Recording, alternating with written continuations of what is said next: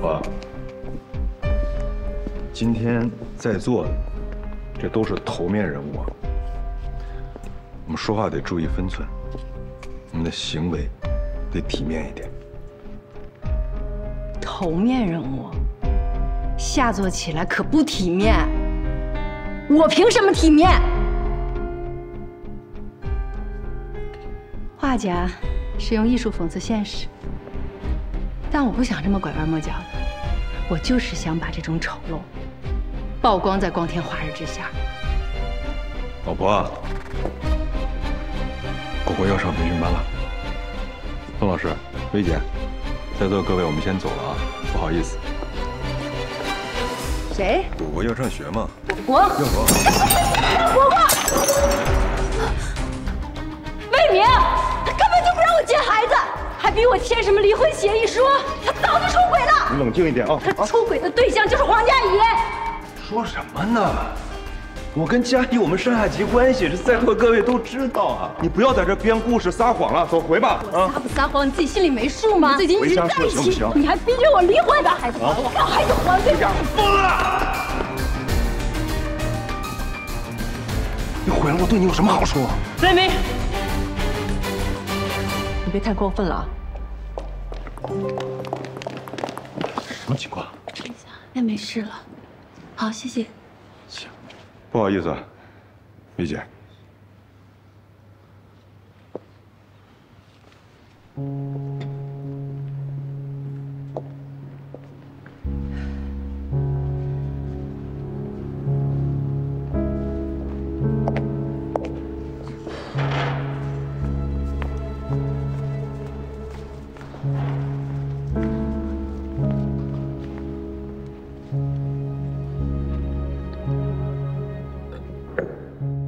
贴了。嗯。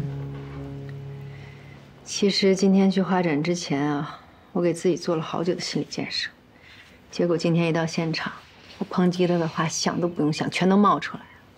我现在算是理解那些当街手撕渣男小三儿的人了。虽然说不文雅吧，但是太解气了，那些负面情绪一下子全都出来了，太爽。你呀，这终极一战的气势是足足的，但是你这技巧还得再练练啊！不是说好了吗？君子动口不动手，还把自己伤成这样。哎，怎么大门没关呀？啊，我就知道你们俩还没吃东西呢，所以特意给你们打包了好吃的。手怎么了？魏明干的。还能是谁呀？哎，顾许，你干嘛去？揍他。哎，不用你去伸张正义了。林双一战成名，把自己打成了网红。手撕魏明和黄佳怡的事情，现在已经上了热搜。现在魏明已经当场社死现场了。他现在待在外面比在派出所煎熬。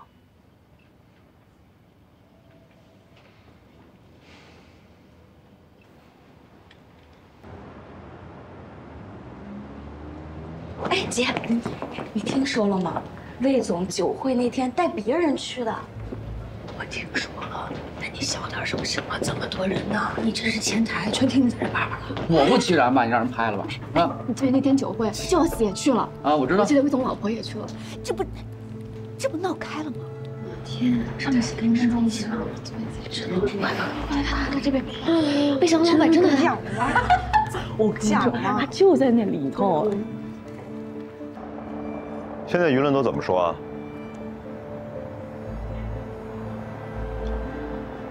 我不会做任何回复的。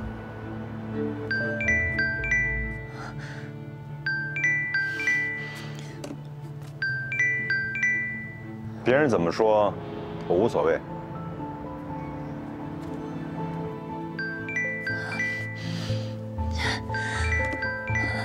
怎么办？怎么办？网上全是骂我的帖子，我连我妈的电话都不敢接。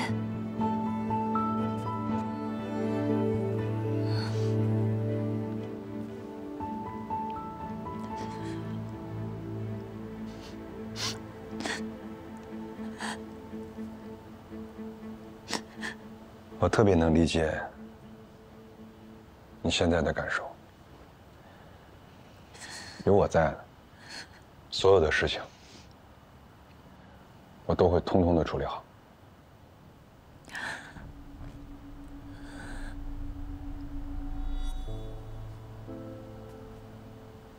网民们就是三分钟热度，等有了新的热点，你想想，我们的事情谁还会记得？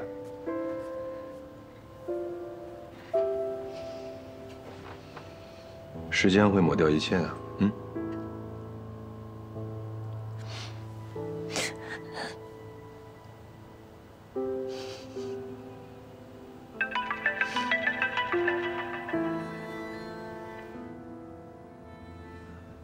其实我跟林双已经分居很久了，我们就是因为有一些离婚协议上的条件没有达成一致，所以一直没有签署正式的离婚协议。本来嘛，都是家务事，我没想到林双会采取这样过激的举动，他发起疯来简直不可理喻。为了多争取一点东西。他什么手段都用得出来。人嘛，总是贪的，有的人贪钱，有的人见色忘义。哦，不过昨天还是刷新了我的认知底线啊。梅姐说的没错，按理说公司不应该去干涉员工的私人生活，但这次画展的风波确实给公司带来非常不好的影响。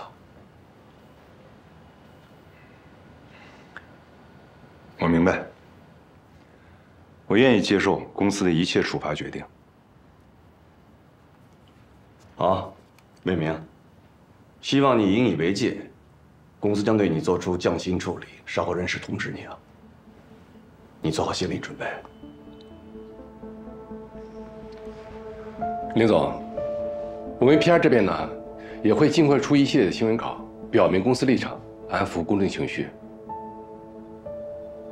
密切关注舆情。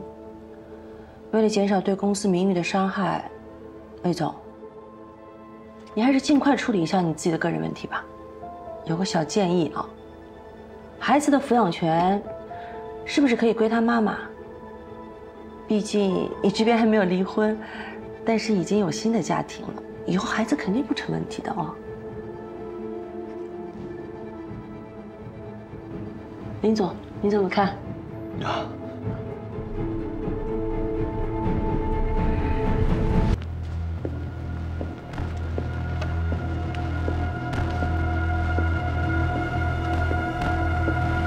画作上的人有着心照不宣的亲密，也有着不约而同的疏离。他们乔装打扮之后，坦然相见，就像在座的某些人一样。魏太，魏总还讲你带孩子去培训班了呢。Joyce，你往旁边坐坐，这个位置还是留给魏太。Joyce，没关系。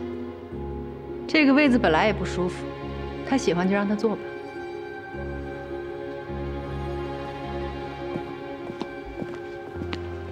老婆，你来了也不提前说一声。你来也没提前告诉我呀。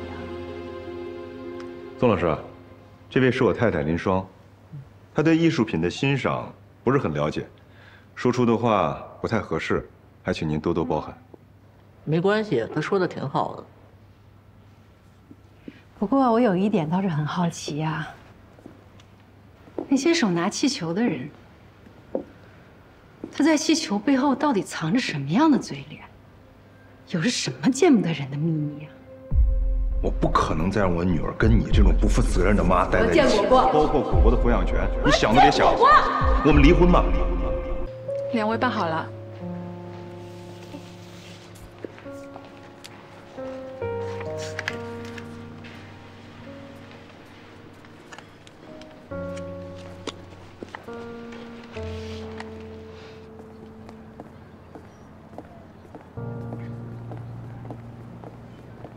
林双，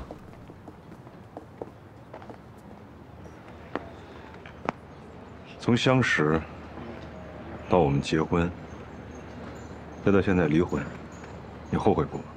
不后悔。人生嘛，怎么可能事事都顺风顺水呢？而且我很喜欢现在的自己。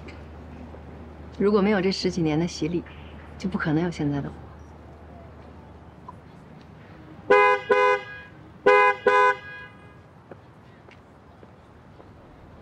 连自己来离婚的礼貌都没有吗？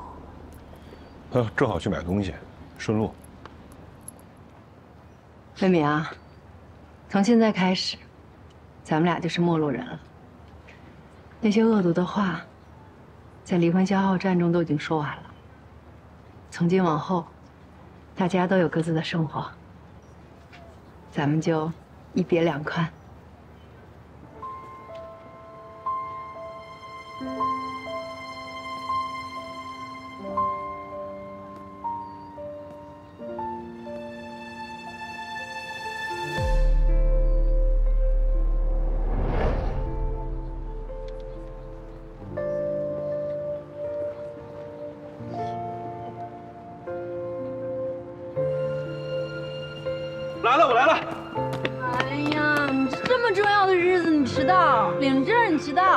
我刚才出门了，领导把我临时叫住聊两句，再加上过来路上比较堵。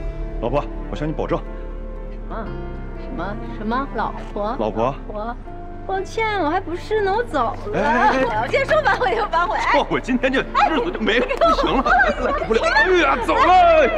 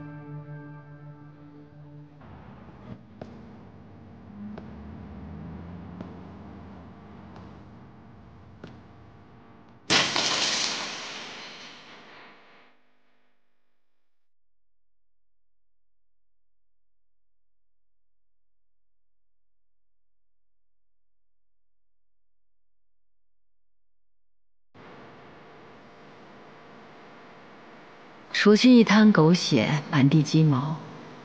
对于婚姻，其实有件事情我一直都弄错了。婚姻不是雪中送炭，没有一个人可以把人生的全部砝码压在另一个人身上。没有人可以永远把婚姻当成避风港。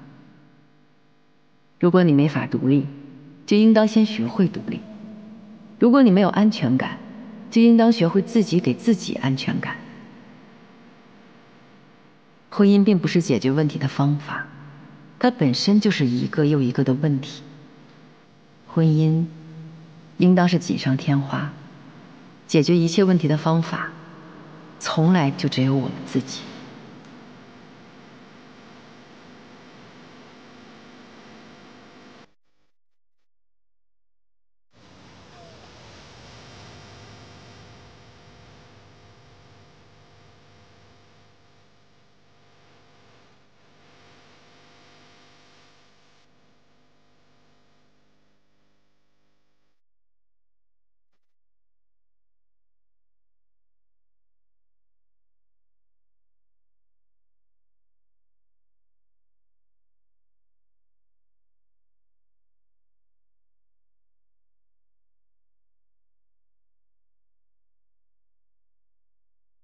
以后我们两个再也不分开了，好吗？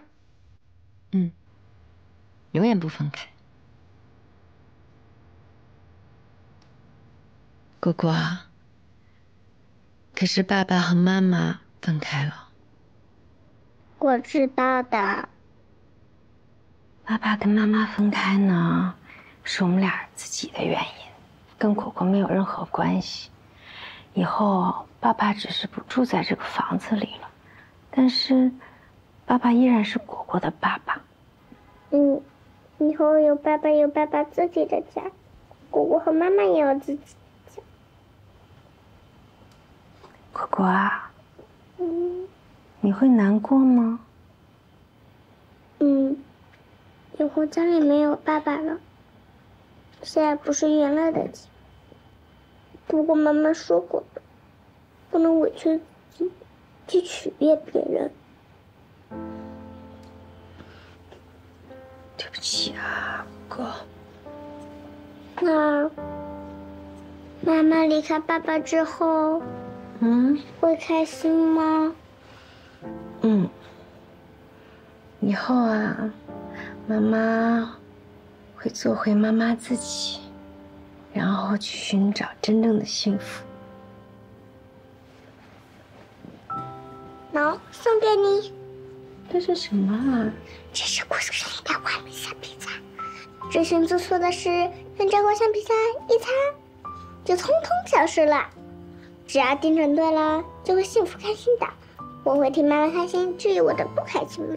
我妈妈瞎画下画，擦擦擦擦，通通擦完。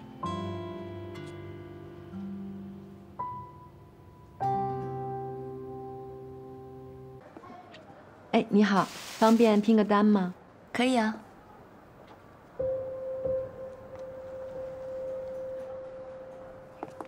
林双，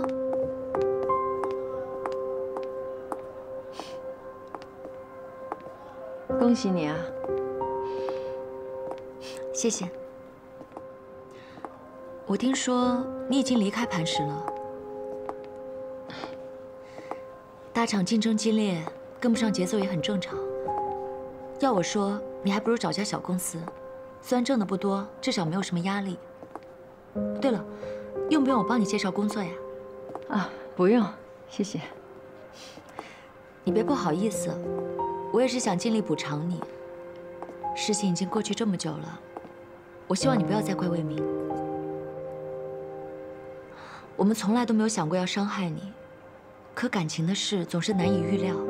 就像魏明当初跟你结婚的时候，也想不到有一天会遇见我，不然很多伤害都是可以避免的。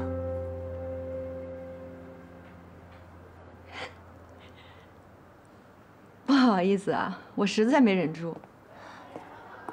林双，你别总是对我有这么大的敌意，感情不能勉强。魏明他不爱你，不是任何人的错。我想你误会了，我从来没有拿你当过敌人，因为魏明不是你抢走的，是我不想要了。你说的对，我们的婚姻是出现了问题，没有你的话也会有别人。相反，我还得谢谢你呢。要不是因为你的出现，魏明不会这么轻易的放我离开，我可能还会被他困在婚姻的泥沼里。黄佳怡，我们之间有道德上的对错，但是没有输赢，因为我们都得到了自己想要得到的东西。另外，我衷心的祝愿你不要后悔。你放心，我们马上就要结婚了，我们一定会幸福的。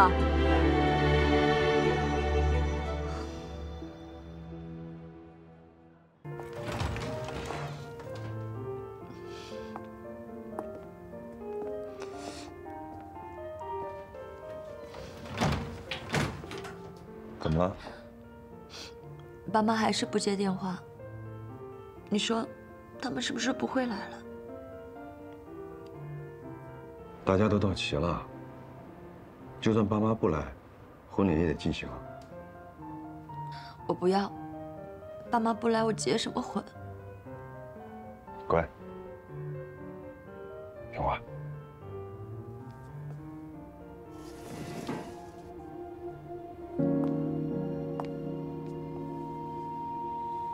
婚礼是给我们办的，又不是给爸妈办的。你最主要的是，等我们的宝宝长大了，他要问你：“妈妈，你的婚礼是什么样子的？”你告诉我你怎么回答。相信我，妈妈很快就会来。补个妆，我们开始。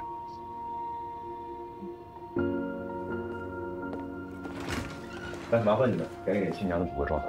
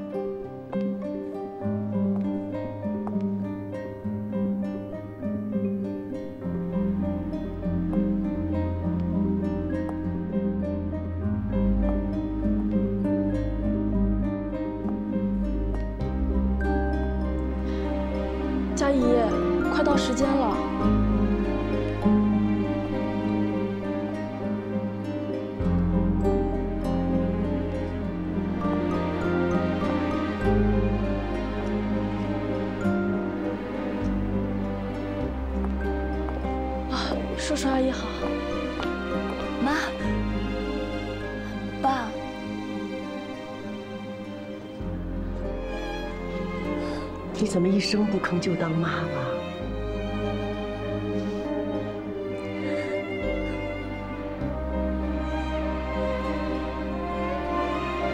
佳怡，该进场了。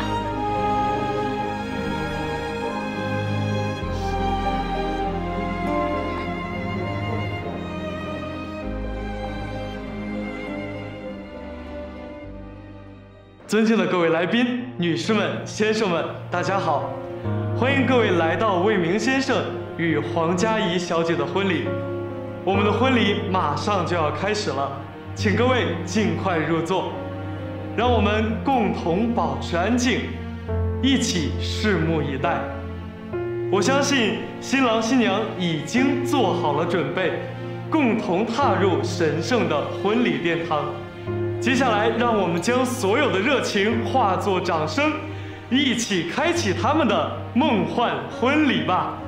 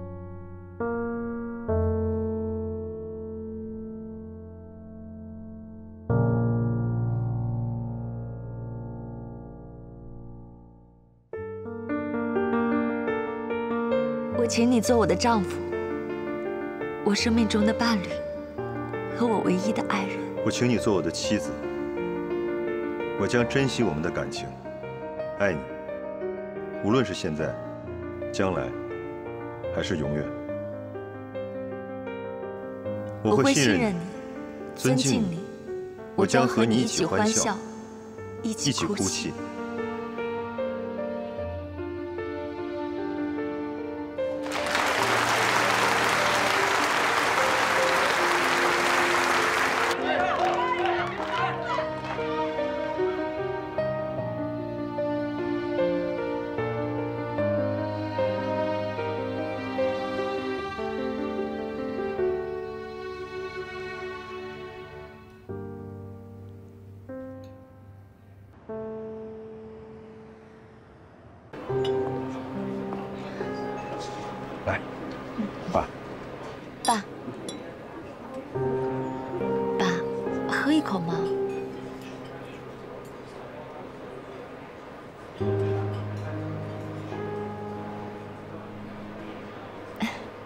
我们今天来，主要是不想让佳怡伤心，并不代表我们就认可你这个人。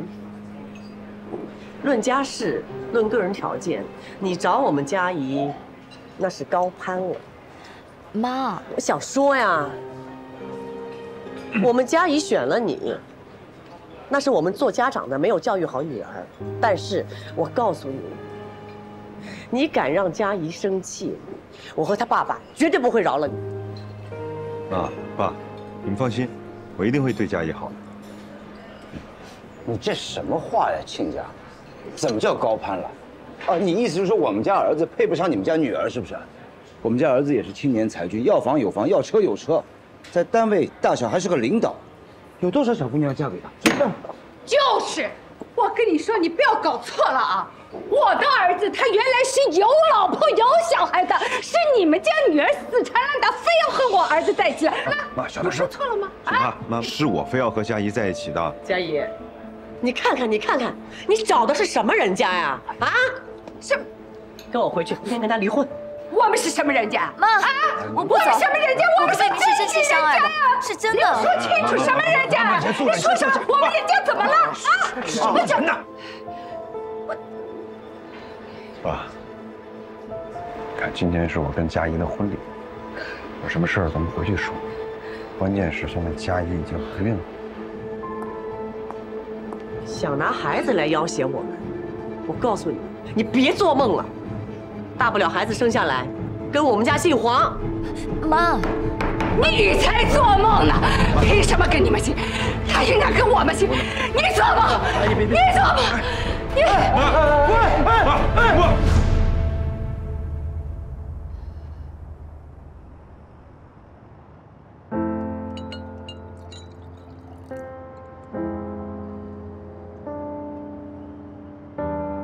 顾总！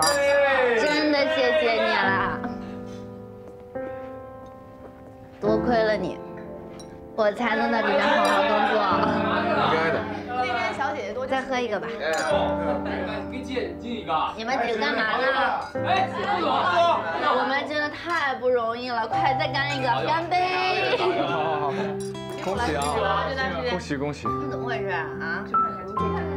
必须给他们叫过来。对了，顾总，你什么时候带我们见见你的另一半呀？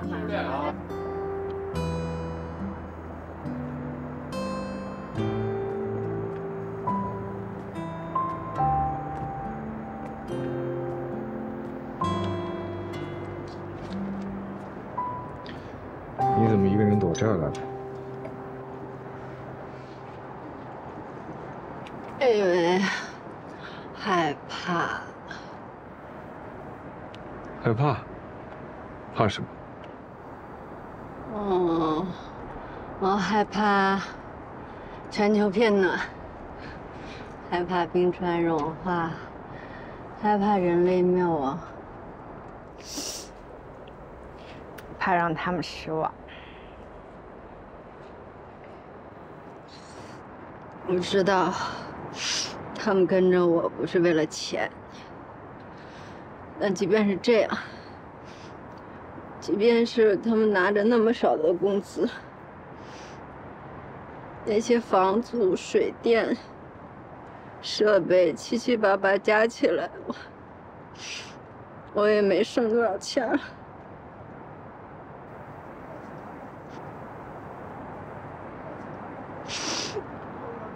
当老板怎么那么难？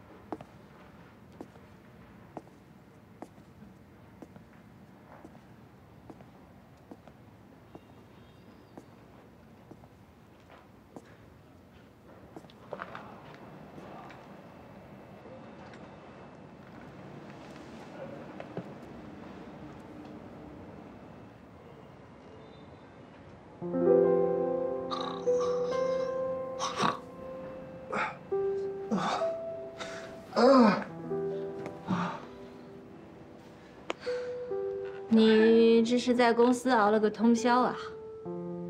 董事长来了吗？差不多了。我得去找他一趟。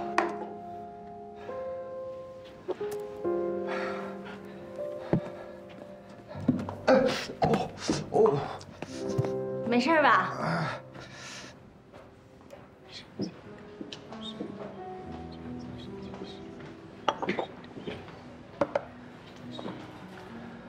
当下最流行的神经网络是哪一种？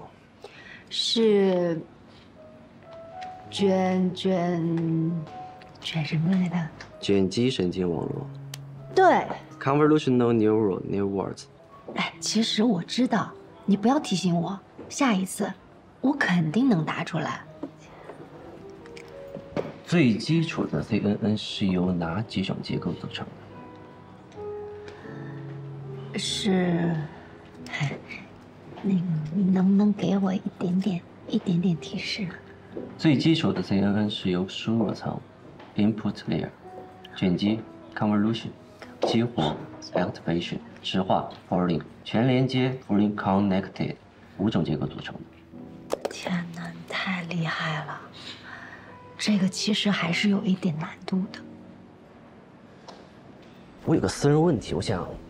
你能不能坦率回答我一下？可以啊，我当然可以啊。你说什么问题？你从小是不是脑子不太好？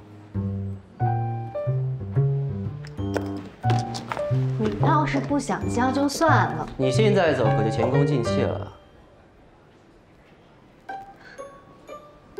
我有一种办法可以提高你的学习效率，你要不要试一试？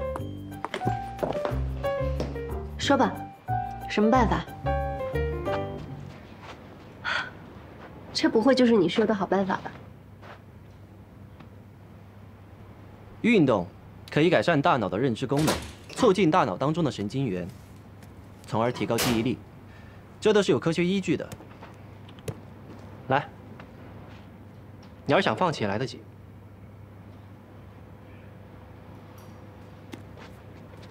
谁说我要放弃了？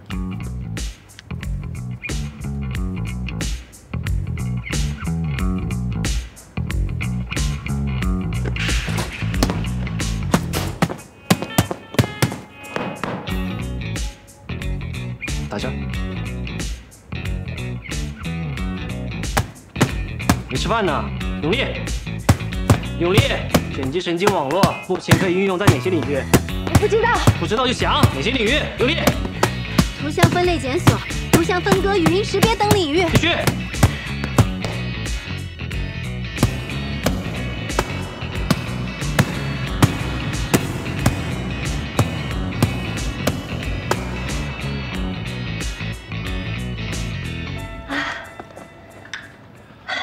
喝点水，谢谢。恭喜你啊，出师了。其实那天骗你的，你也没有我想象中看起来那么，其实挺聪明的。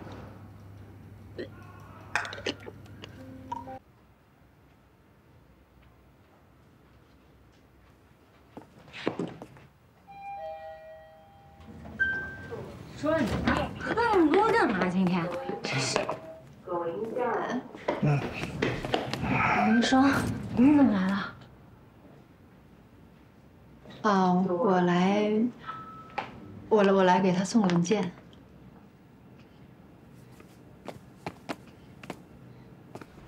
送文件？什么文件这么重要，非得大半夜送过来？你们 哦，你别误会。他喝醉了，哎，你别走啊！他喝多了，你别走啊！啊，呃，不打扰了。哎，不是。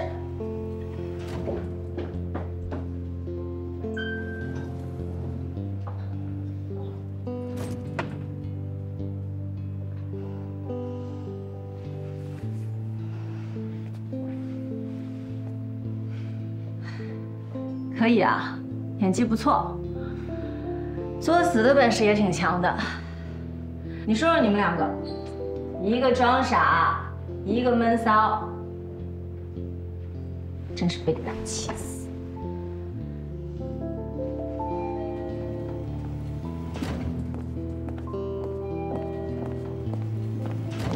林霜，你就这么走了，是打算把顾许让给我？是你俩的事，跟我没关系。顾许喜欢的人是你，你看不出来吗？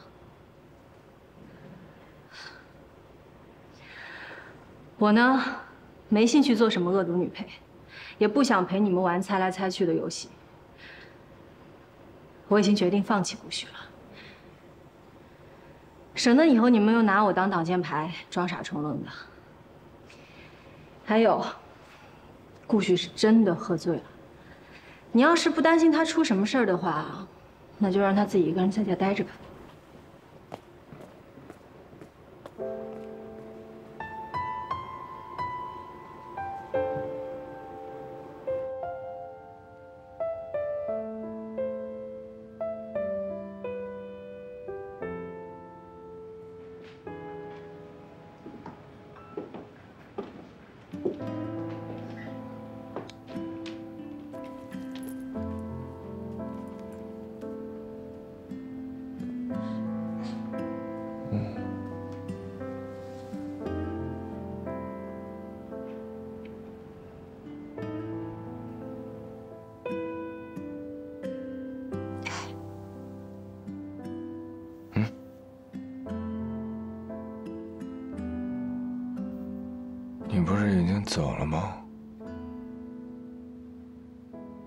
你要不见我的话，我现在也可以走。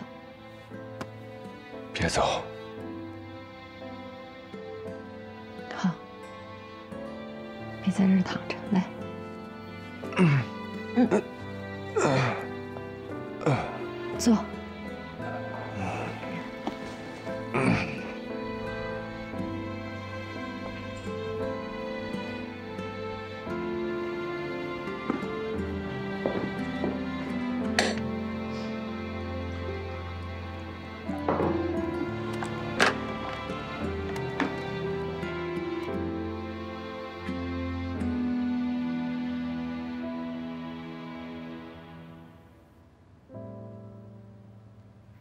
应酬又不是拼命，下次别喝这么多。好。水我给你放这儿了，夜里渴了记得喝。好。你除了会说好，还会说什么？谢谢。其实你帮了我更多。要说谢的话，也是我谢谢你。可是我想要的，从来都不是你的感谢。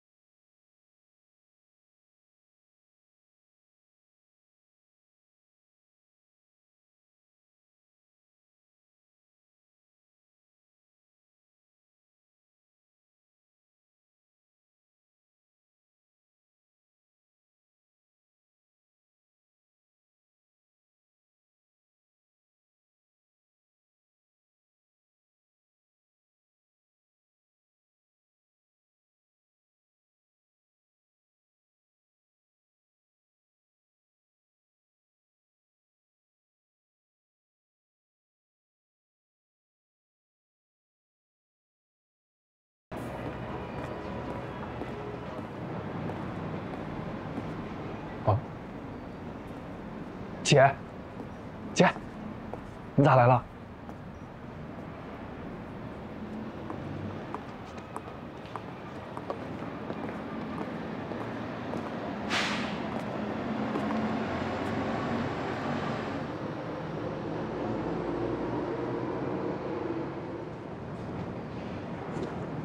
我看你最近好像瘦了，我瘦了。哦，可能最近老加班，又顾不上吃饭，那蛮好的，减肥嘛。身体是本钱，自己都照顾不好自己，怎么照顾别人？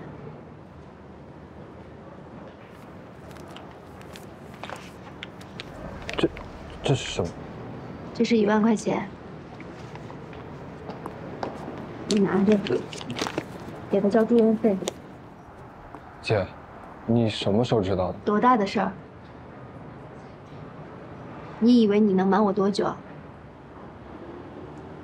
姐，这钱我是真不能要，因为妈生病的事儿真的，我打一开始就没打算告诉你，我不想让你再分担了。说句心里话啊，妈这些年怎么对你的，我都看在眼里。姐，你没有做错，你只管过好你自己的生活就行了。以后家里这些烦心事儿跟你都没有关系，我来承担。你来承担？你那点实习的工资多少？够他看病的吗？够啊，实在不够，下了班我送外卖吧。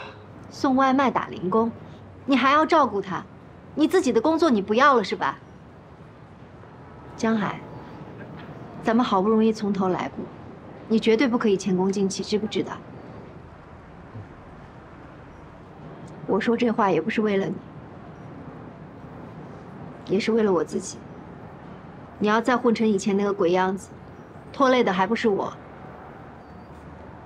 行，那这样吧，姐，这钱就当我问你借的吧。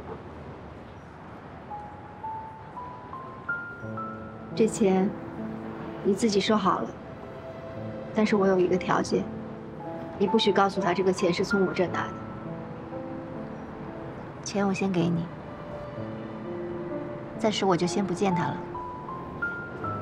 我也不想再跟他有任何的瓜葛。好。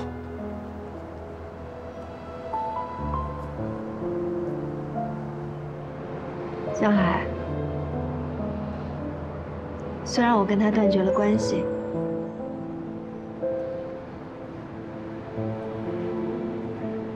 但是你永远是我弟弟。你说谁呢？你老婆谁啊？我老婆林霜，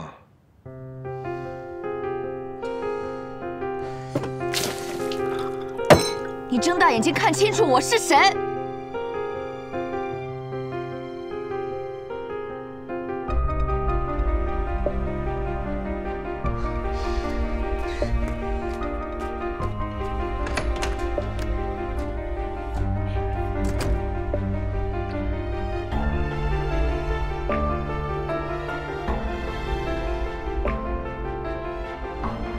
学校里的时候，他就是高材生，校花、学霸，我在家里头洗衣服、做饭，给我生孩子。你老婆谁啊？林霜。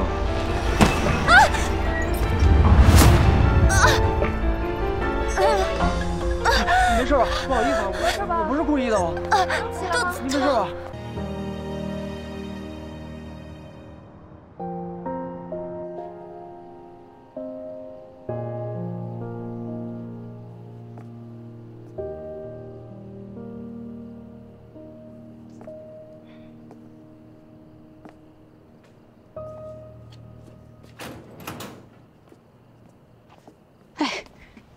不要过来了嘛？先生太太说了，她不想见你。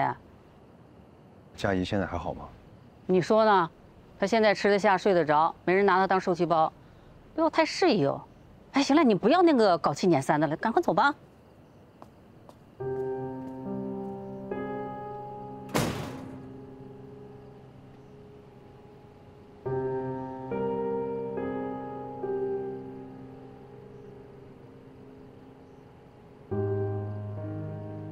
佳怡，我知道我的行为有些过激，我也知道我没有资格祈求你的原谅，我只是想确认一下，你和孩子现在还好吗？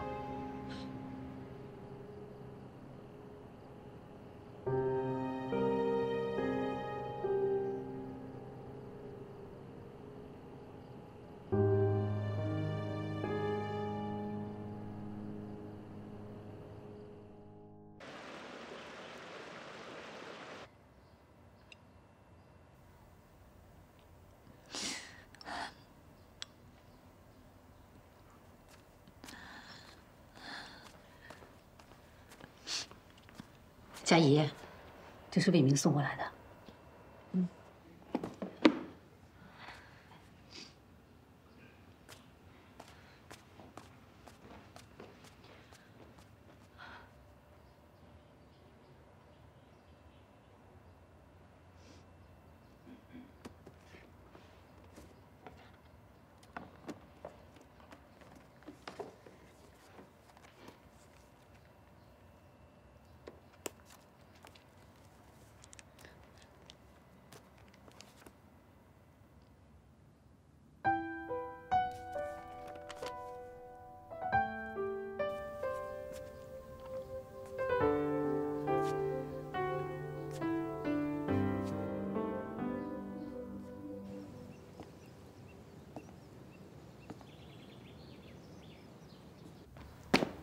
现在知道来打苦情牌了。魏明这个人啊，我和你爸从头到尾都没看上过。当初是你，要死要活的非要嫁给他。但是现在说这些已经没有用了。你不是谈谈恋爱闹分手，你现在婚都结了，孩子也有了，这不是儿戏呀，你要负责任的。妈，事到如今，站在我这个做妈的立场，我还是劝和不劝分。可是他这么过分，我就这么随随便便的原谅他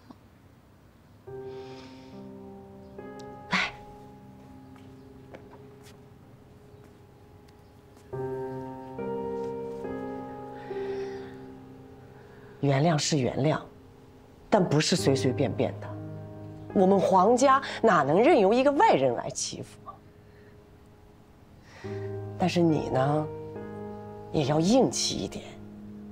两个人在一起是要磨合，要包容，但是规矩还是要立的。这件事情一定要让他记牢教训。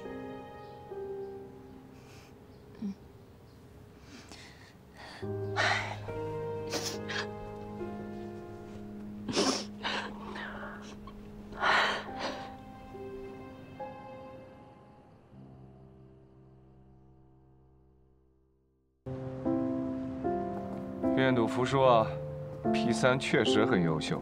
呀，这话能从你嘴里说出来不容易啊。其实啊，我建模呢就比你稍微的细致了那么一点点。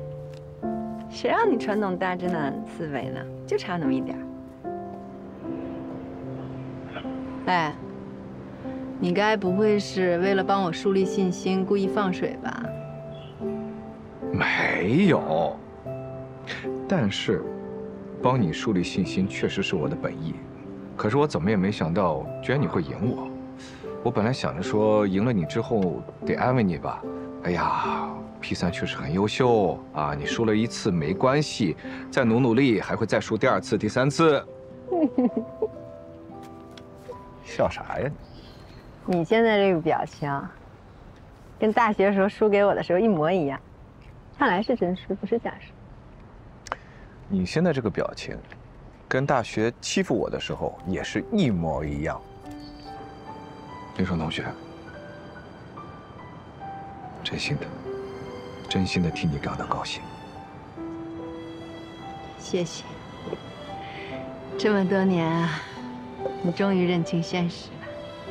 是啊，这么多年，我也终于学会正视自己的情绪了。哎，说，跟你商量个事呗。那要不然咱们建立一个终身 PK 制，啊，你给我个机会，我努努力，争取后半程赶超你，怎么样？幼稚。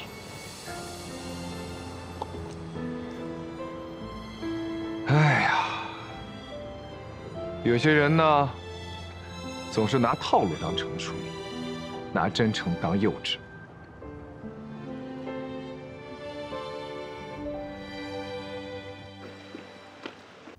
昨晚上哪儿去了？嗯，喝酒去了。那几个人非得说我怕老婆，我怎么可能怕老婆呢？你不怕老婆？那我为什么要怕老婆？我老婆上得厅堂，下得厨房，外形好，不止长得好看，还在学校里的时候，她就是高材生，是学霸、校花。那又怎么样呢？还不是嫁给了我，给我生孩子，给我在家里头。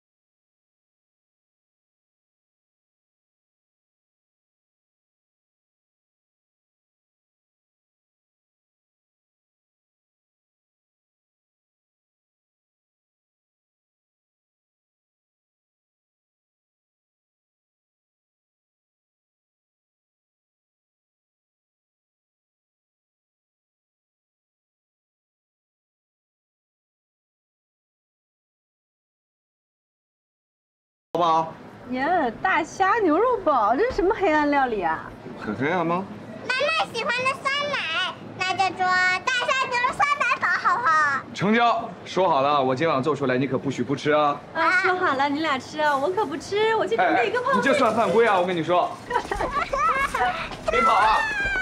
哎，这儿这儿，我要黄桃罐头。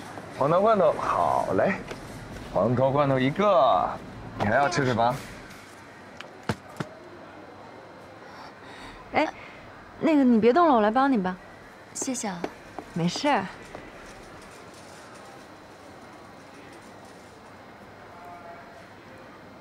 好久不见。好久不见。佳怡阿姨。你一个人来的？哦，魏明他加班，临时有点事情。你这推车挺重的，要不然我帮你推吧。哦，不用了，我自己可以的。那行，那我们先走了。嗯，好，拜拜。果果还想吃什么呀？你放着。汤圆。是汤圆啊。汤圆啊，还是黑芝麻馅的，是不是？哎呦，小淘气包，小心点脚下。哎呀。走了。走了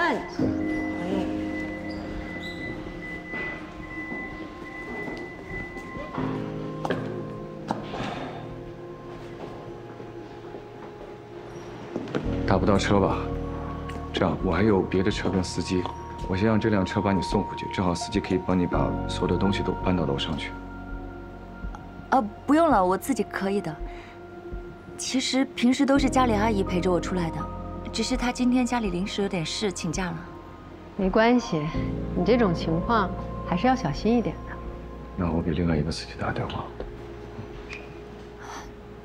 那就谢谢你们了。小事情。你最近都还好吧？公司业务开展的顺利吗？之前遇到了点小状况，小莹被方舟踢出了局。不知道魏明有没有跟你提过？不过现在已经解决了，我们已经跟 LA 谈妥了合作。最后顺利就好。嗯。你现在最重要的就是照顾好自己的身体。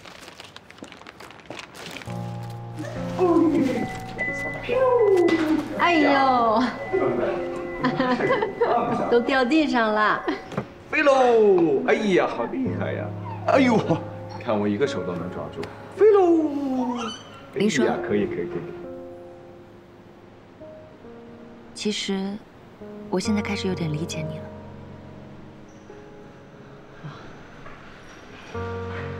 有些事情吧，你身在其中就感受更深吧。你看，像我，没有过去的经历，就没有如今的我。但是现在，我反倒觉得更轻松自在了。面对一些未知，我也不再害怕了，因为该来的总会来。对于你来说也是一样的。上车吧。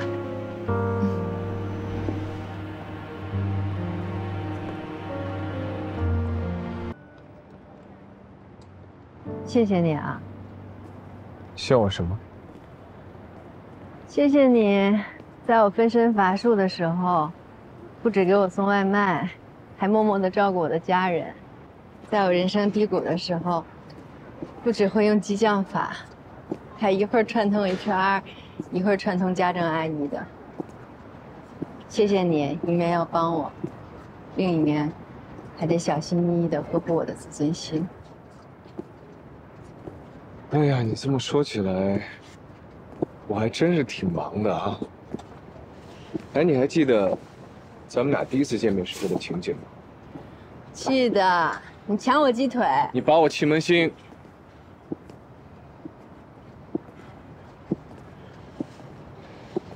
这件事情充分证明了，你从小就欺负我。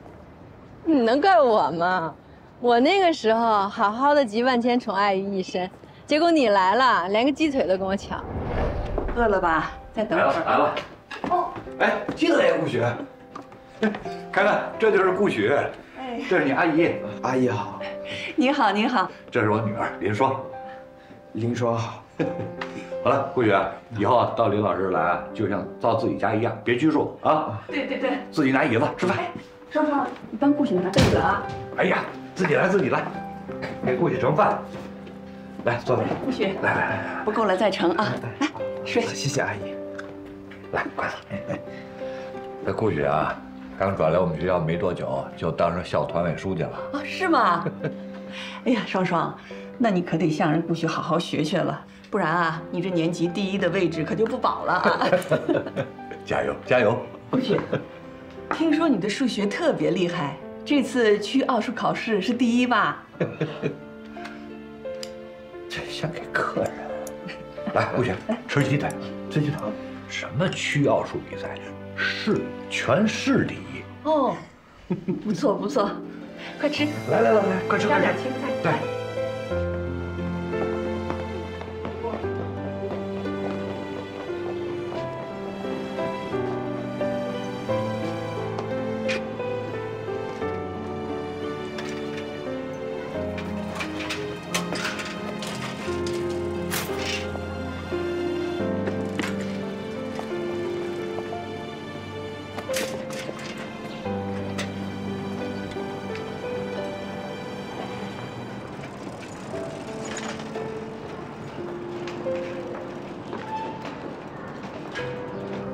几年啊，我们真的是一路打打闹闹过来的。那时候咱们俩就像两个小孩子一样。我心智未开，不知道自己真正想要的是什么，不会表达，更不懂得珍惜。我就是故作成熟，假装大人，假装自己什么都懂。结果这一绕啊，绕出去好远。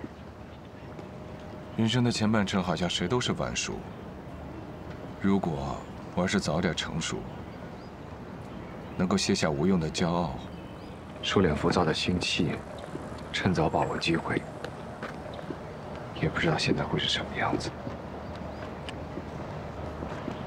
可惜啊，人生没有如果，也不存在假设。你说咱们现在走在这个校园里边，有没有点像？人生兜兜转转，又回到了起点。哎，敢不敢去学校的台？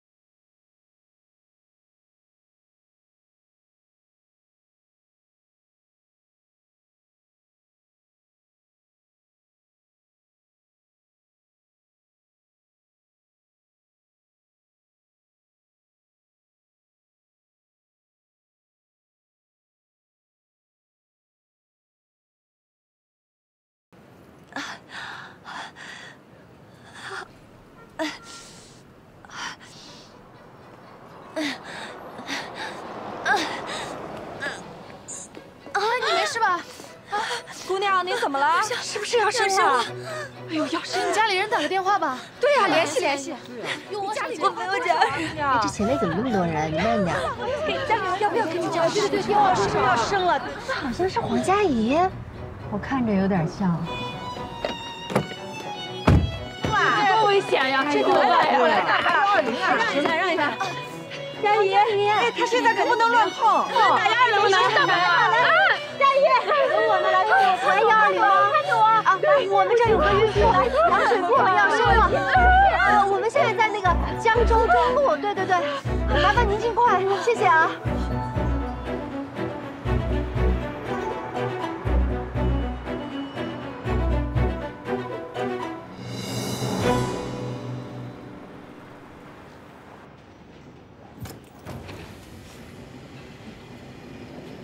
医生，哎，黄佳怡家属是吧？女儿六斤八两，母女平安。谢谢啊，没事。打完电话了，他父母在来的路上了。好。怎么样啊？母女平安，生了。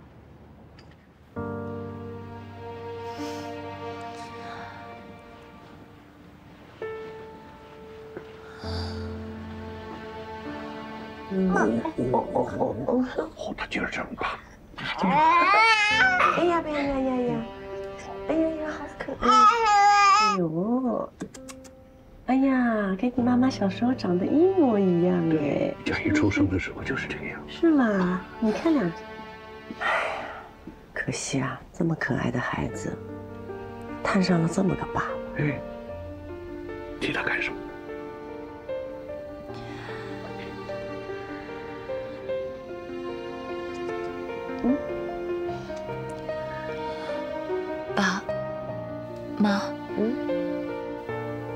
事情，我已经想好了。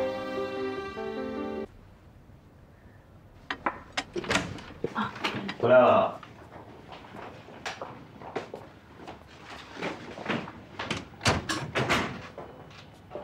张妈，麻烦你去超市帮我买瓶鱼露。呃，那我快去快回。老婆，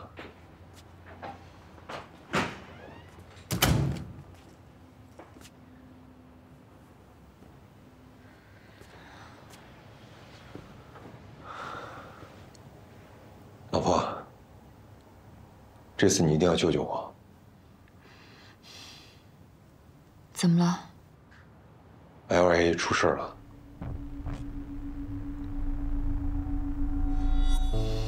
现在只有你求求爸，让爸帮帮我。既然你不知情，配合他们调查清楚就好了，何苦为难我爸呢？他这个时候出面，怎么说都不合适。事情现在没你想的这么简单，董事会现在认定我收了 LIA 的好处，想把这盆脏水泼给我。你真的没有收 LIA 的好处吗？那辆突然冒出来的跑车，你敢说和 LIA 没有关系？我承认我跟他们吃了几顿饭，是收了他们一些拉拢关系的公关费，可是财务造假这件事情我根本不知道。他们给了你一辆跑车，他们心里没有鬼，为什么要花这么多钱来买你的良心啊？我不说，他们不说，是没有人知道的。我们现在不要在这件事上做争论。现在你不救我，我就要去坐牢。你不希望孩子出生以后就没有爸爸吧？你还知道你马上就要当爸爸了？你春风得意的时候，想过我和孩子吗？所以我现在想尽一切办法，尽力的去补救嘛。晚了。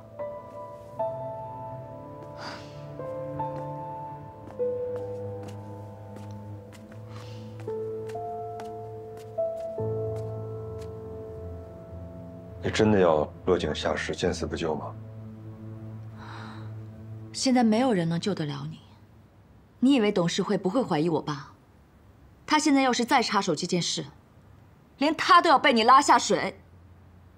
魏明，我真是不懂，我们黄家又不缺钱，你为什么还会这么鼠目寸光，做这种下三滥的勾当？你不懂，我告诉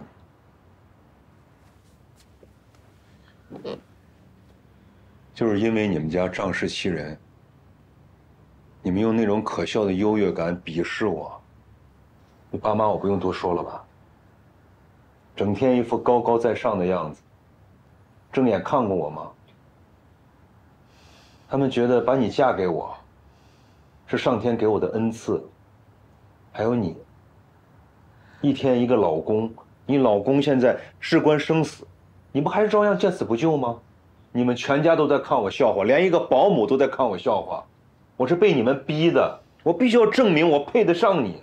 我受够了，我不想看你们家的白眼跟鄙视。所以你就用这种作死的方式，来维护你扭曲的自尊心。魏明，你是自作自受，别赖在我们头上。行，那我们大家就撕破脸，让大家看看。你们皇家的女婿马上就要坐牢了，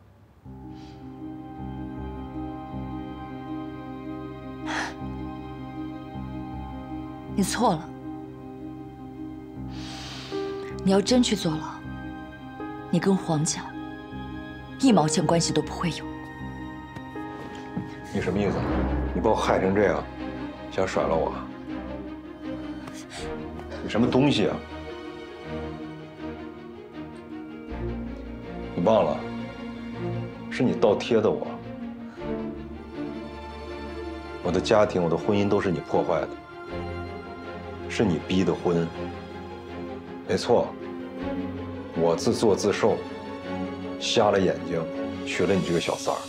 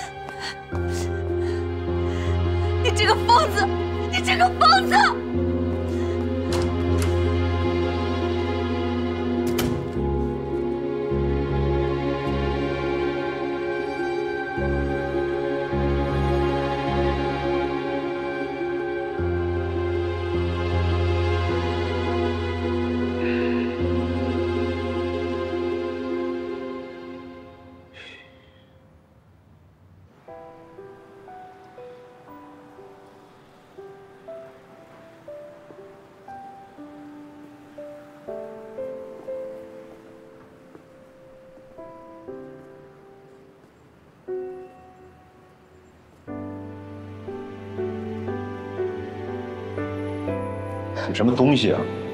你忘了？是你倒贴的我。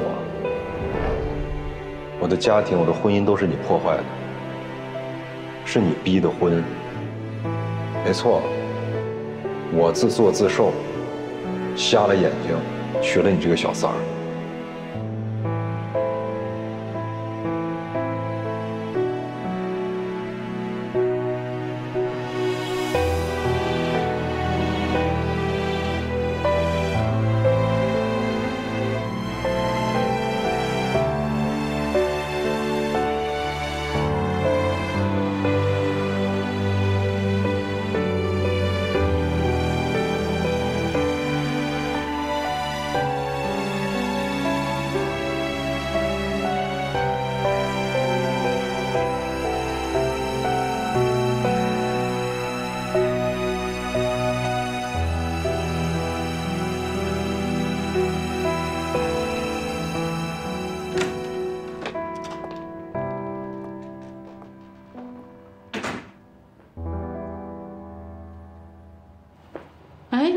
佳怡呢？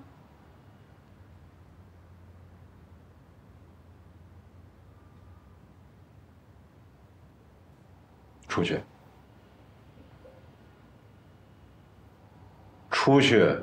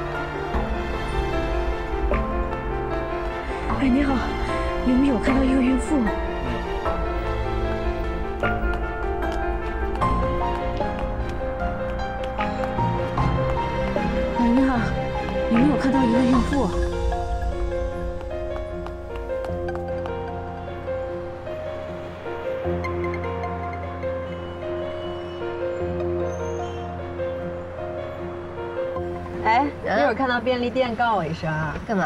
干嘛？我买瓶酒，今天为了给你当司机啊，我喝了一肚子果汁。行，一会儿咱俩好好庆祝一下。哎，我们再弄桶炸鸡怎么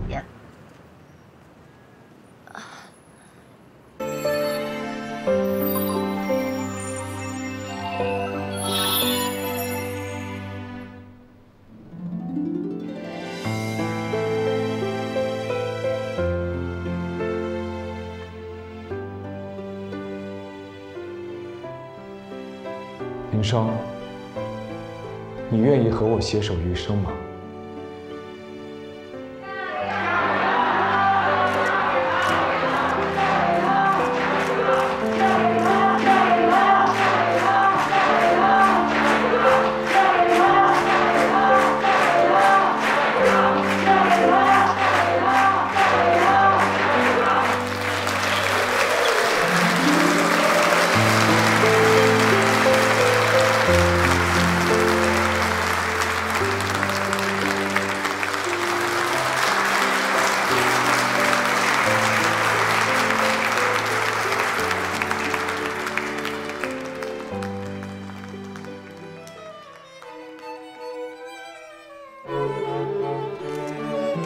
接下来就让我们把目光随着新郎一起投向了幸福开始的地方，有请最美丽的新娘幸福登场。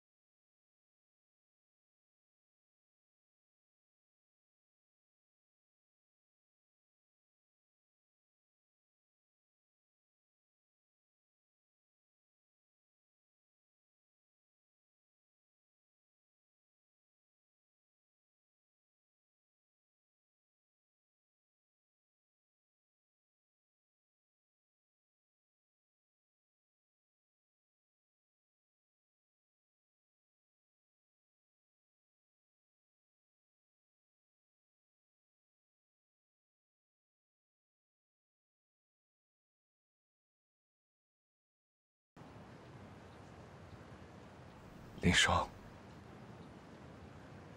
对不起啊，让你等了我这么久。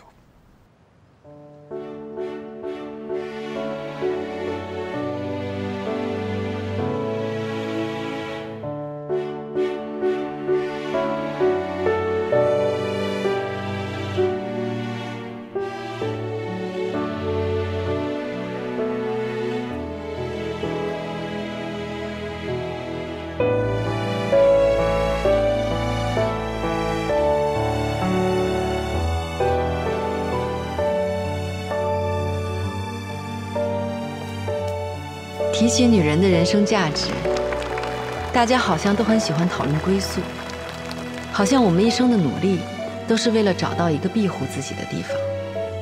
但或许，我们也可以享受路上的风景呢。单身或婚姻，职场或家庭，成功或失败，所有的经历都是我们成长路上的精彩风景。我们来到世界。不是为了找到一个归宿，而是最终成为自己的归宿。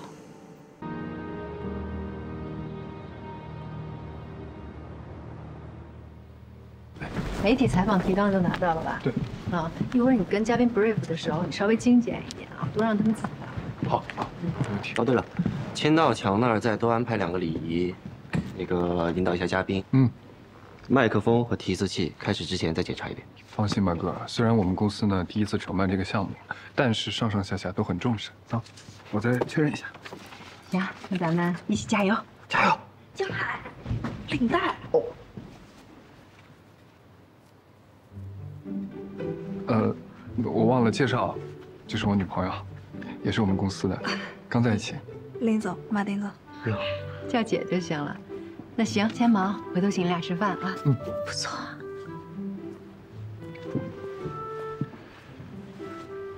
你小子可以啊，这终身大事都跑我前头去了，必须的。而且你在你姐那帮帮我的忙。啊，走走走。林双姐的前夫，就那个魏明，上周判了。还有后面那个结婚的富二代，也没有。唉，天道好轮回啊！这个渣男总算是得到报应了。林双，先去忙，你先忙。中国有个古老的寓言，叫“杨子见其鹿而哭之”。杨朱看到一只羊走失了，它在路尽头分叉的地方哭了。因为他不知道羊走到了哪条路上。这个时候，他就不能决定自己往哪一条路走，于是很悲伤。当我们走到分岔路口的时候，看上去唯一能做的事情就是先掷个骰子，选择一条路走，无论对错，再去试另外一条路。这个方法看上去是有效的，但也是愚蠢的，因为上帝从不掷骰子。这就代表，当计算机要计算一个问题的时候，我们想要寻找一个答案，常常要搜索好几个方向。但是这个问题，在量子的世界里，就可以迅速的得到解决。不好意思，顾总，呃，您能否说的通俗一点，或者说有没有什么模板可以让我们参考一下量子计算的强大威力呢？来，大家来看一下大屏幕。量子纠缠的两个粒子，就像是一对深深相爱的恋人，彼此心灵相通，尽管远在天边，却时时思念，并无形地连接着彼此。这种神秘的关联，使得量子纠缠成为了宝贵的资源，而量子计算正是基于量子纠缠，获得了快速运算的优势。